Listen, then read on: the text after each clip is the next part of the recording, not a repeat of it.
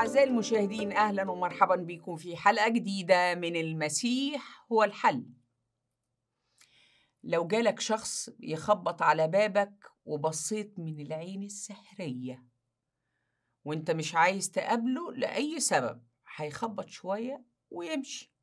يمكن يكررها مرة أو كم مرة خصوصا إذا كان محتاج منك شيء ضروري أو عايز يديك حاجة مهمة. لكن الأمر ده مش هيستمر طول حياته. مش معقول هيقعد يخبط على بابك طول العمر. أكيد في وقت وهيزهق ومش هيرجع تاني. لكن في الكتاب المقدس بيعلن إن الله بيخبط على باب قلبك بطرق كتيرة جدا طول حياتك. هيكلمك بكل الطرق اللي ممكن أنت تفهمها. أو لو ما فهمتش بطريقة معينة هيفهمك بطريقة تانية تفهمها. وتنتبه ليه الأمر ده هيستمر كتير. أيوه هيستمر كتير. طول ما فيك نفس وعايش هيستمر يخبط على باب قلبك.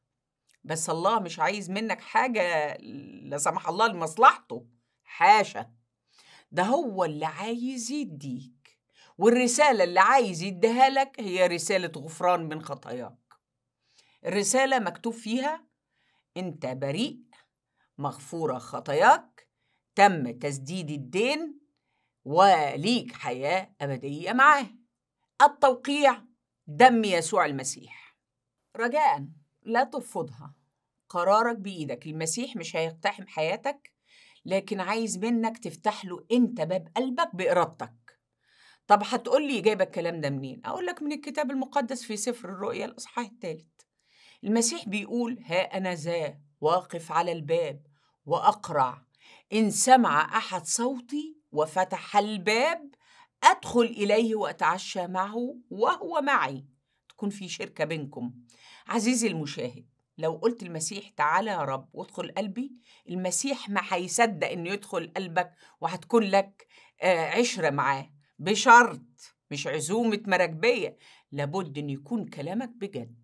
لأن هدفه إنك تكون لك عشرة معاه. هل تقبل المسيح مخلص شخصي لحياتك؟ أرجوك المسيح واقف دلوقتي وبيخبط بيخبط على باب قلبك. مش هيزق الباب أنت افتح الباب. هو هيدخل ويقعد معاك وهتكون لكم علاقة شخصية مع بعض. أرجوك ما تفوتش الفرصة. المسيح